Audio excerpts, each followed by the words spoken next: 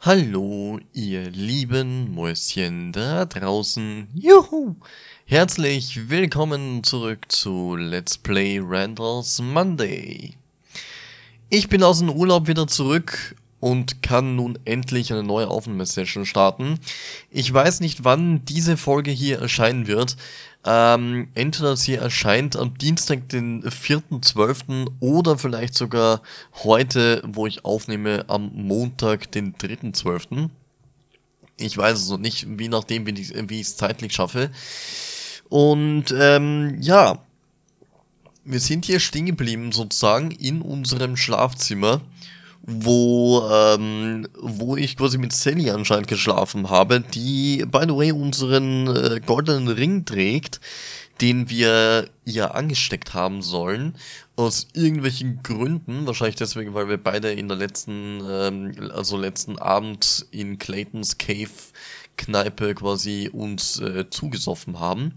Und anscheinend wussten beide nicht mehr, was sie machen, sind dann im, irgendwann im Bett gelandet. Er hat ihren goldenen Ring angesteckt, sie findet ihn zauberhaft, er natürlich äh, nicht so. Und äh, naja, im Grunde, ähm, ja, jetzt weiß ich natürlich nicht mehr, was da jetzt alles sonst noch so passiert ist. Wir haben einiges gemacht.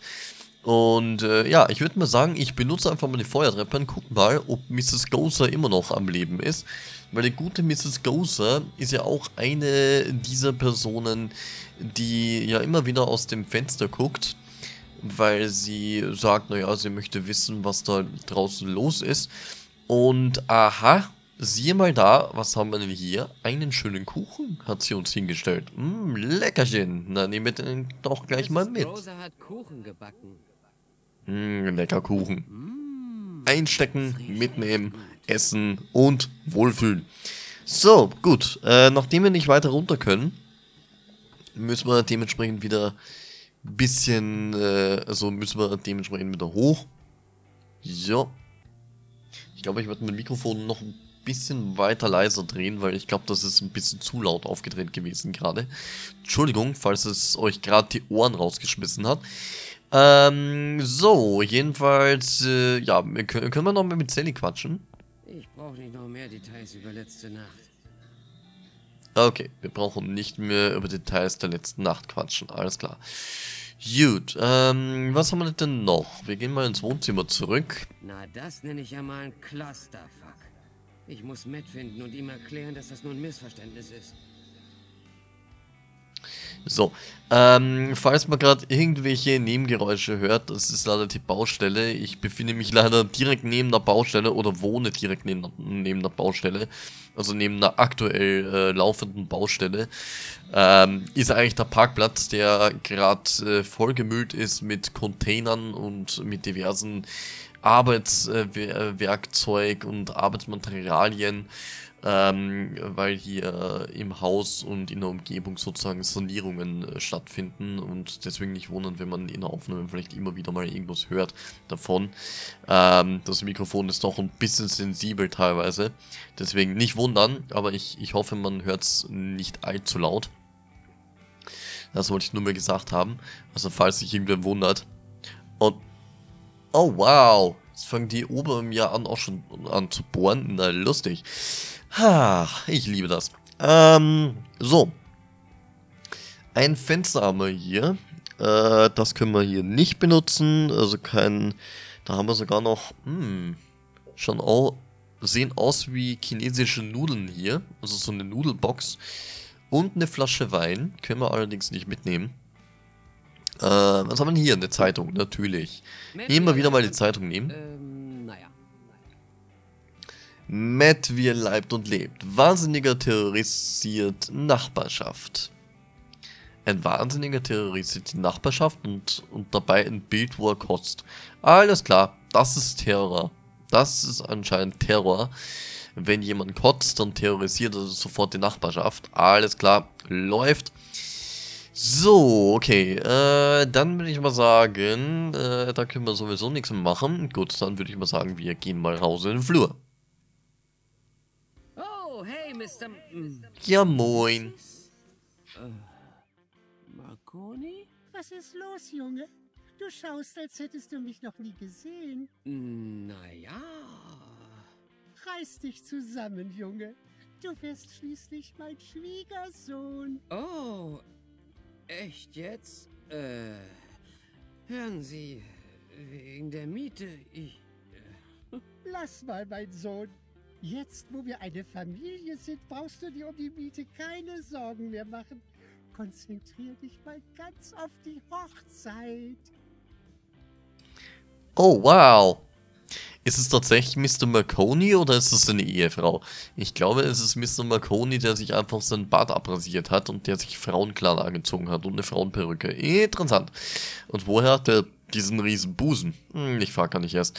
Ähm, okay. Äh, er, er lässt uns anscheinend die Miete, weil er sagt, na ja, konzentrier dich mal lieber auf die Hochzeit. Alles klar, Mr. Marconi, alles klar. Oder, ja, liebe Mrs. Marconi, ich habe keine Ahnung, wer du bist. Ähm, ich glaube, mein Hirn kann das gar, gar, gar, gar nicht verarbeiten. Ähm, ja. Oh, ich glaube, mein Hirn kann das alles gar nicht richtig verarbeiten. Ach, du hast nur kalte Füße, Junge. Das ist normal. Sieh mal, es ist doch bloß der Anfang eines ganz neuen Lebens. Ich glaube, mein Brustkorb explodiert gleich. Mann, Hicks, dein Humor gefällt mir immer besser. Warte erst mal, bis du Sally den Kirchengang runterkommen siehst. Okay. Irgendwas stimmt da nicht. Also ich glaube tatsächlich, dass es Mr. Marconi ist, der einfach nur seine Stimme verstellt und der in Frauenkleidern rumläuft. Aber woher hat der große Busen? Ähm, irgendwas ist anders an Ihnen, Mr. oder Mrs. Marconi? Was ist anders an Ihnen, Mr. Mrs. Marconi? Oh, schönen Dank für die Blumen, mein Lieber. Neue Frisur, gefällt's dir? Äh, klar. Sieht scharf aus. Ich will an eurem großen Tag umwerfend aussehen. Na, das klappt ja schon mal. Mich haut's gleich aus den Socken. Haha, die frohe Erwartung bringt dich fast um, was? Oh ja.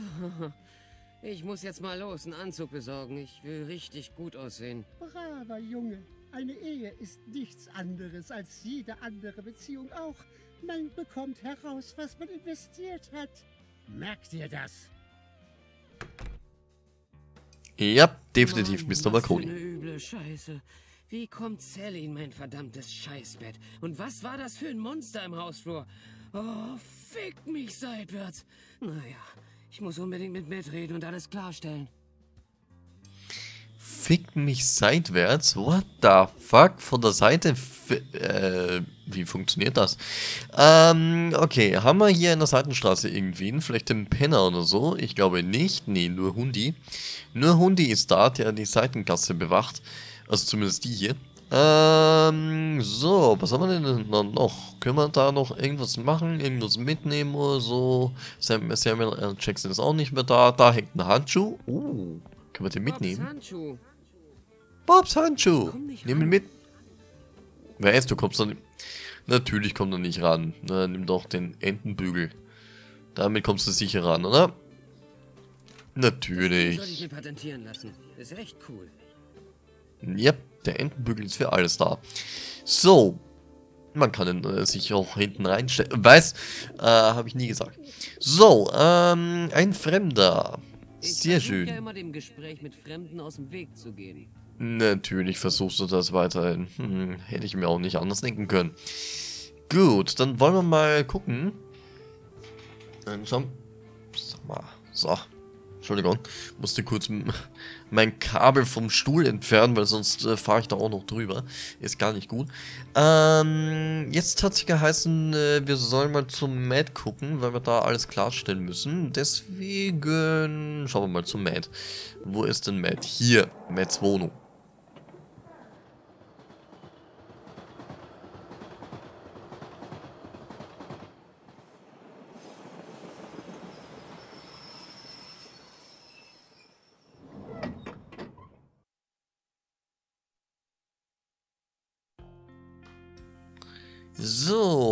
Willkommen zurück zu in Matts Wohnung oder oh je.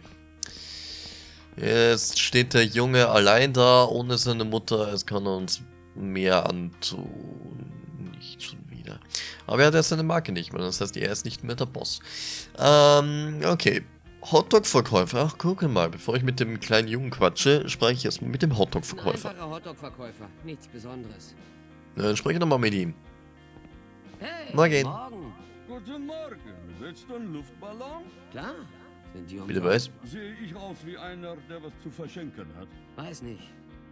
Hast du nicht früher Hotdogs verkauft? Das ist leider Geschichte. Einst bedachte mich die Hotdog-Gottheit mit ihrer Gnade. Bei mir gab's die besten Hotdogs der Stadt. Aber eines schicksalhaften Tages wurde ich verflucht. Und seitdem... Mal langsam, Kumpel. Ich hab das Monopol auf Flüche. Da musst du dir schon eine bessere Ausrede einfallen lassen. Wie bitte? Ich sagte ein Hotdog mit allem, bitte. Du hast mir wohl gar nicht zugehört. Wie bitte? Ach, ich hasse Menschen. Da sind wir schon zwei. Also, Ja, gut, mit Hotdogs wird es wahrscheinlich nichts mehr. Wobei ich mir gerade, wobei ich mich gerade äh, frage, oder wobei ich mir gerade die Frage stelle, wenn der doch Luftballons hier verkauft, ne? Man achte mal hier drauf, auf das Schild, wo gerade mein Mauszeiger liegt. Warum hängt hier noch ein Schild mit Hotdog? Das müsste er eigentlich entfernen, wenn er jetzt noch Ballons verkauft und müsste stattdessen vielleicht ein Schild dranhängen, Ballons und ein Ballon äh, drunter und nicht Hotdog mit einem Hotdog Bild. Das passt hier nicht. Das passt eindeutig nicht. Und ja, ich bin äh, einer, der gerne auf i-Tüpfelchen herumreitet oder der, klein, der kleine, äh, kleine Details raussucht, um sich darüber aufzuregen. So, ähm, naja, ni- nicht, nicht, nicht aufregen in dem Sinn, aber ich sag mal so, es, es fällt mir halt auf. ähm, so, okay. Was müsste ich tun, dass du mir ein paar Luftballons was schenkst? müsste ich tun, dass du mir ein paar Luftballons schenkst? Tja, du könntest mich vielleicht umlegen.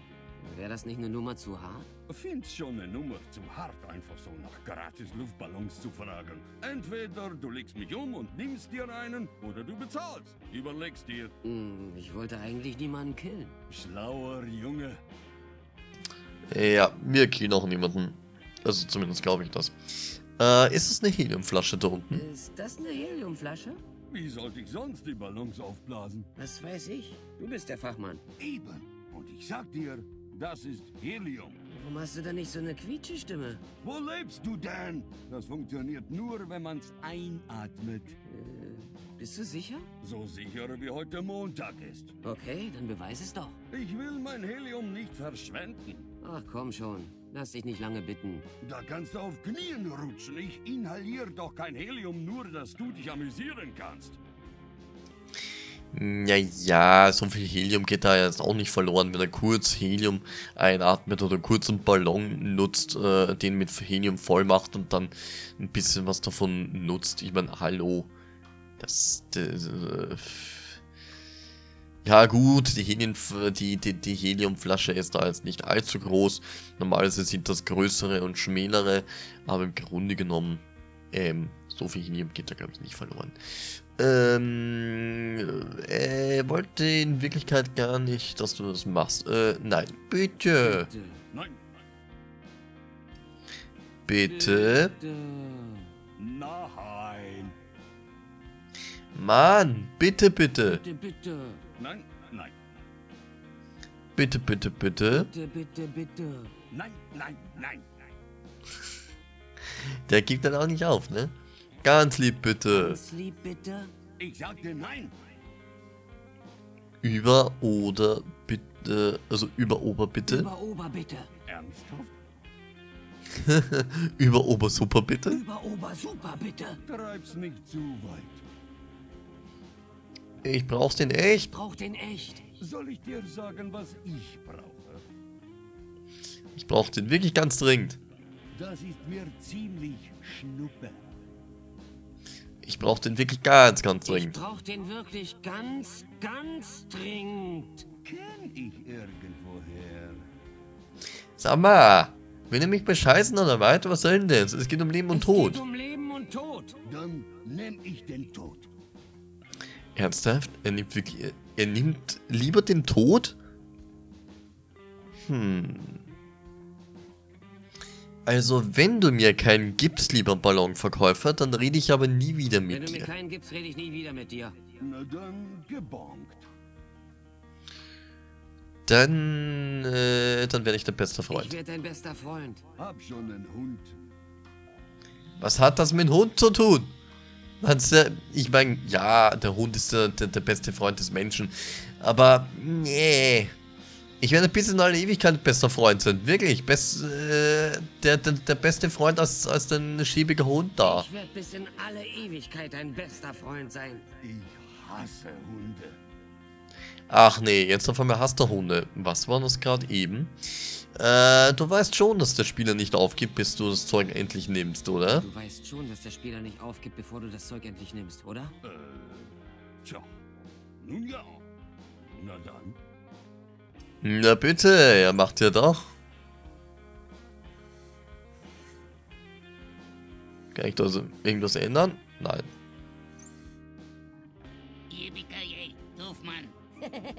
Stark, Alter.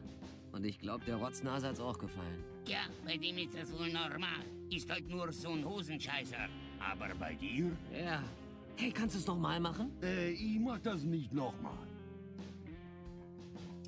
Ja, ich sage mal so, man, man sollte nicht zu, äh, zu viel Helium einatmen, weil das doch dann sich negativ auf, auf den Körper ein, äh, so auswirkt. Das ist, das ist schon ganz klar.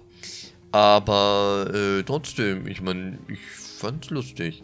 Ähm, was können wir denn mit dem Jungen jetzt machen? Ich quatsch mal mit dem. Hallo, Großer. Da hast du aber einen super Luftballon. Das ist meiner. Den kriegst du nicht. Du bist doof. Wow.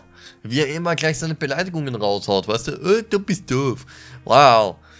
Hat dir die komische Stimme von dem Mann Hat dir gefallen? die komische Stimme von dem Mann gefallen? Ja, der stinkige Ballonmann ist lustig. Das ist lustig, wenn der lustige Sachen macht. Naja, na gut, soll er denn nochmal seine komische Stimme machen? Ja, oh ja, voll Depp. Na gut, aber ich brauche deine Hilfe. Ich äh, brauch deine Hilfe. Fang bitte nicht wieder damit an. Sag ihm einfach, er soll's nochmal machen. Na gut, Depp. Was? Entschuldigung? Sagst du bitte dem Verkäufer, dass er es nochmal machen soll? Sagst du bitte dem Verkäufer, dass er es nochmal machen soll? Ja, Blödmann. Ja, ist schon gut. Ja, mach mal. Entschuldigung? Äh, Sagst du bitte dem Verkäufer, dass er es nochmal machen soll? Ja, Blödmann. Ja, ist schon gut. na gut. Ich glaube, das hilft nichts. Entschuldige, dass ich nochmal störe. Warum verkaufst du jetzt Warum Luftballons? verkaufst du jetzt Luftballons? Tja, nachdem meine Gastrolizenz einkassiert wurde, habe ich erstmal intensiv recherchiert. Und nach langem Hin und Her... Komm zur Sache. Wollte nicht deine Lebensgeschichte hören. Okay. Siehst du den Hosenscheißer da drüben? Schwer zu übersehen, das Riesenbaby. Tja, der steht unheimlich auf Luftballons und hat immer Kohle.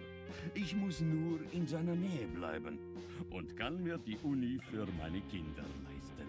Was macht er mit den Ballons? Frisst er die? Nicht ganz. Verstehe. Beziehungsweise ganz und gar nicht. Bist du blind oder was? Ich glaube, das ganze Helium schlägt dir aufs Gehirn. Wie bitte? Ja, nichts.